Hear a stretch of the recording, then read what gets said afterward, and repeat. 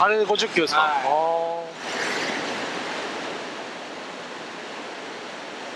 い。練習によっては結構こう下ってまた登ってみたいなのが多かったりとかするときは首周りとかすごい。あます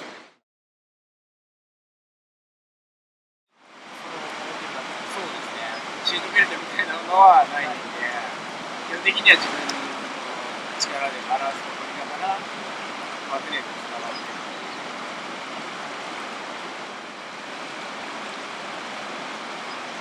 姿勢が初みんなきつくてはいキープする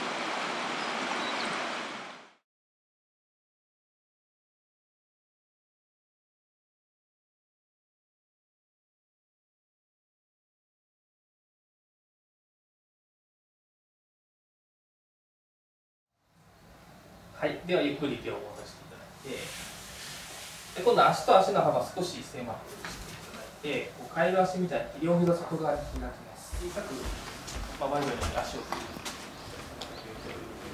そうです。できたら、あの全身同じように揺れるんではなくて、少し波打つというか、そうです。ね。前と比べてね。左右差少なく少なくなります。一応まあ今のはあのやってこうやって乗ります。でまあ肘はでまあこういう姿勢です。で滑らせて曲げて形だけで。そうですそうです。で今思いっきり上げるとですね、ここに傾くのがあります。なんでそれ傾かない範囲で結構小さな動きになります。やるのがやりやすいかな。振り切らないとちょっとこう、こっちに傾いちゃう。左手の方がやりやすいやるのがやりやすい。見てるとこのまま上げる場合と上半身をこうやってずらしたいのが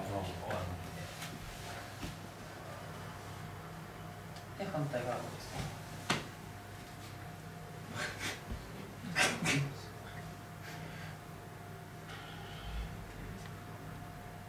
さすがですねジョージ顔いらねえよ。顔もなんかやろうと左 左が結構